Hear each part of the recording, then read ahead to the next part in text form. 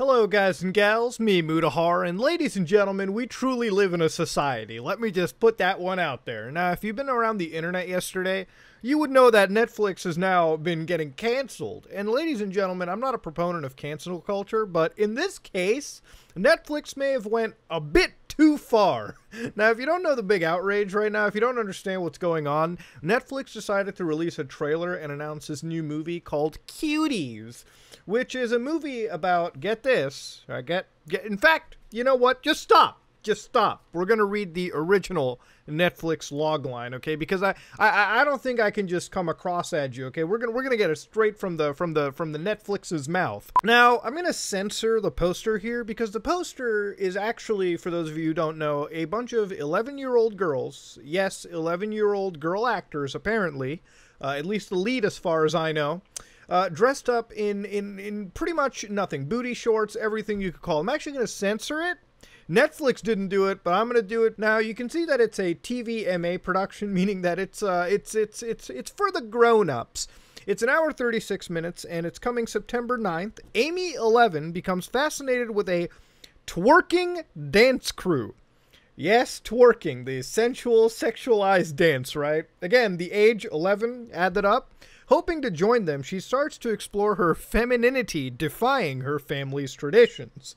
Whew, now, I don't know how you can really, uh, re- re- really kind of justify it. It definitely comes across very creepy. In fact, it's it, it's to the point where even Netflix agreed that it was really, really weird. Which is why, get this, they changed it they actually changed the poster originally to something that wasn't showing 11 year olds dressed scantily clad, and they changed it to 11 year old Amy starts to rebel against her conservative family's tradition when she becomes fascinated with a free spirited dance crew.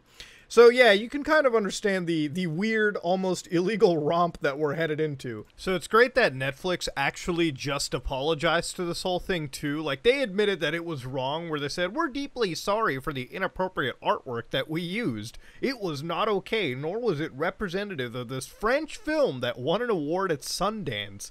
And then they updated the pictures and description. I like the fact that they said won an award at Sundance, like that's some scientific barometer for what is a great movie or not.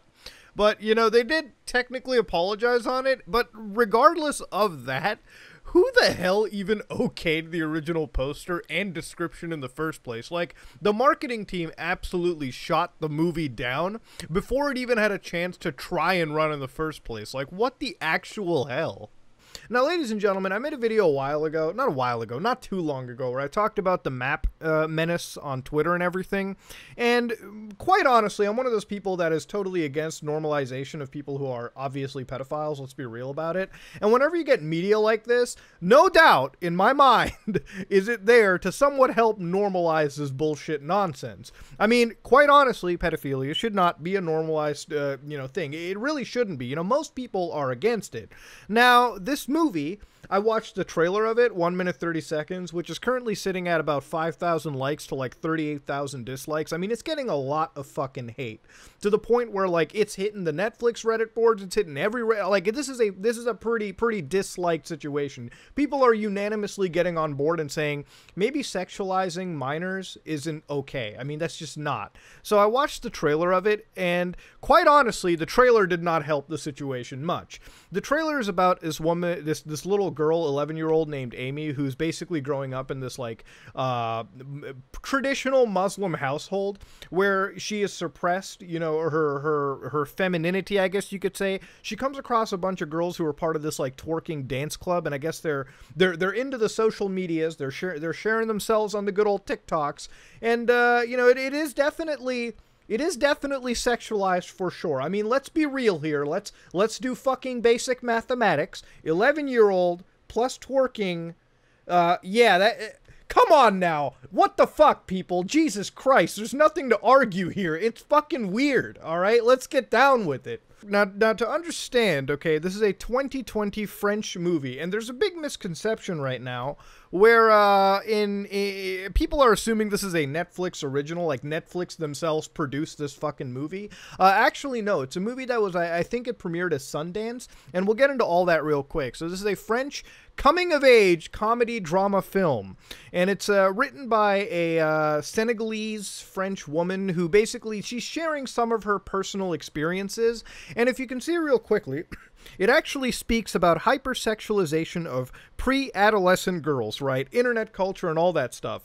Now, this is a very important topic, and it's something that definitely can be talked about. I mean, let's not deny the fact that social media and children, kids are growing up way too fast, and, and, they're, and they're growing up in situations where they're posting their entire lives on social media. So let's not pretend that this isn't some kind of an issue. However, the way that Netflix marketed it is fucking stupid. It it definitely shot this purpose down. I mean, if your entire goal was anti-sex hypersexualization of children, well, the way that Netflix marketed this entire movie by se- hypersexualizing young children is fucking wrong. I mean, ladies and gentlemen, this is not a cutesy scenario. This is this is not something that should be normalized. This is not something that you can. Th- this is this is not okay.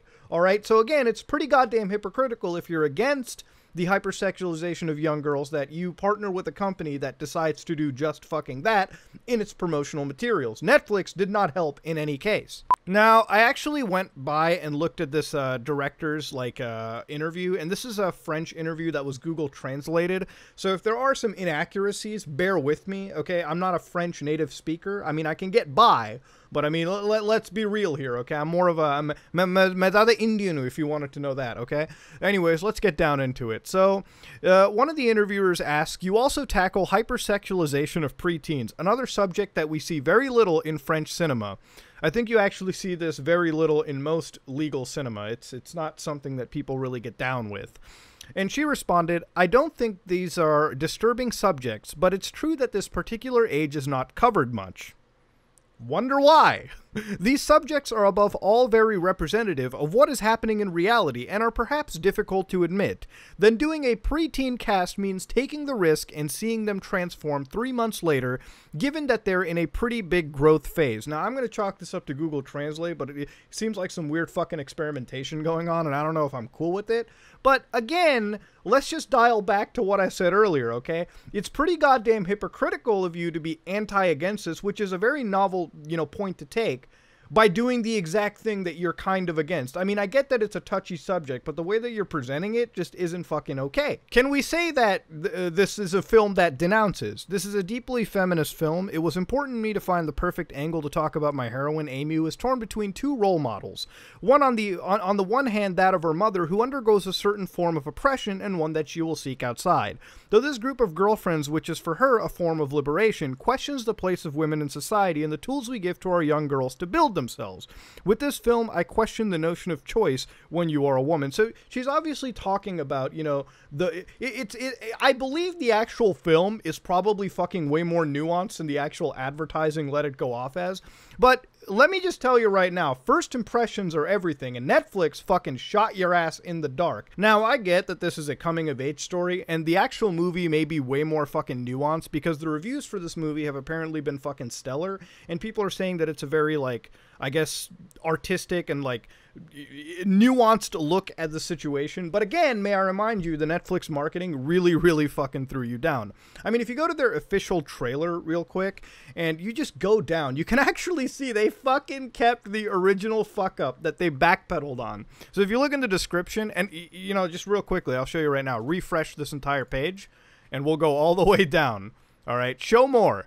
Amy, 11 years old, tries to escape family dysfunction by joining a free spirited dance clique named Cuties as they build their self confidence through dance.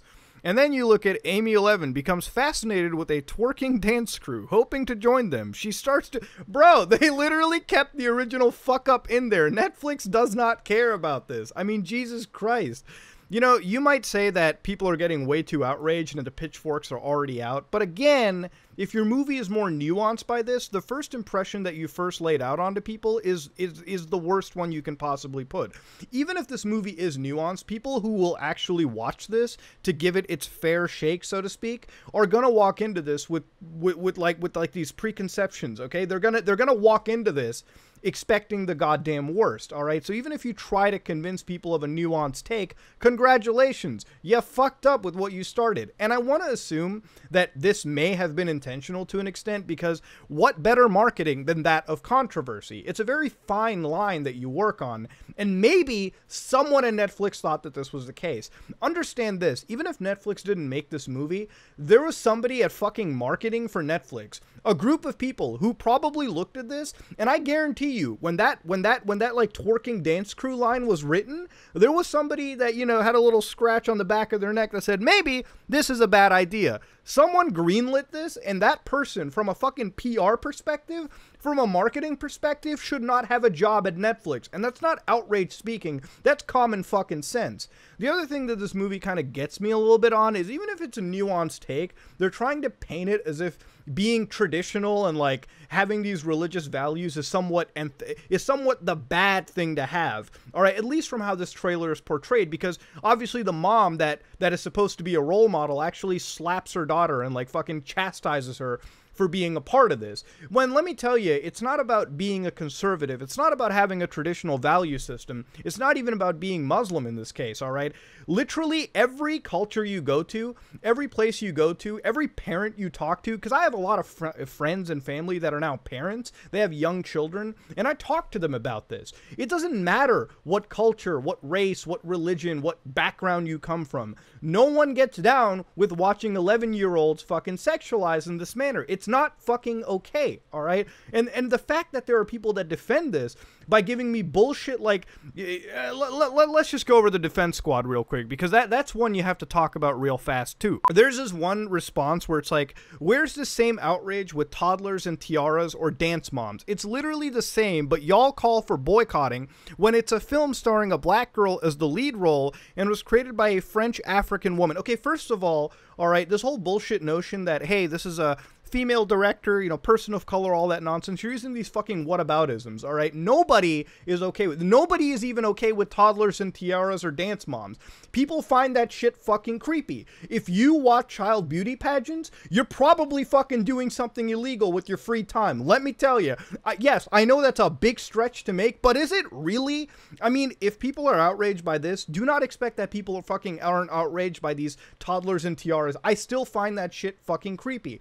Most people I talk to find that creepy. And if you ever find, if I find somebody who genuinely watches that, I'm probably going to question what kind of a fucking person they are and why they're watching that in the first place when they have so many things to do. And I'm also going to question the parents who let their children fucking get into that world anyways. Or or better yet, the ones who force their kids into that nonsense anyways. Yes, nobody likes that. This whataboutism doesn't actually fucking work in your favor. Nobody's okay with that and nobody's okay with this either. The other notion that I hear too are people are like, "Oh, this is a French movie. It's normal over there." No, not really. Because even on the French side of the internet, even on French Twitter, French Reddit, fuck, I've been to France. I know what French people are like too from my experiences. And guess what? They're not even fucking okay with this shit either. Nobody is, all right? So again, it doesn't, the, the arguments don't make any sense. They hold no validity. Now, a lot of people are saying that this is fucking art or something like that, right? Where somebody's like, you don't have to like something or even think it's effective to be art. Bad art is still art. Listen,